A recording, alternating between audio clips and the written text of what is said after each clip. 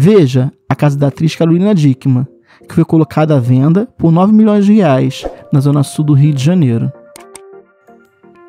A casa construída em 2015 de Carolina Dickman está à venda.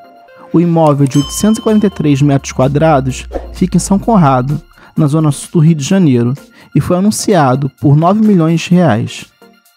A casa em Mel Verde foi toda planejada para se harmonizar com a natureza. Tem uma linda paisagem, com a vista para a Pedra da Gávea e o mar. São quatro suítes, sendo duas com closet, piscina, salão em vários ambientes, sauna, quadra poliesportiva, ampla cozinha, duas dependências completas e duas vagas de garagem.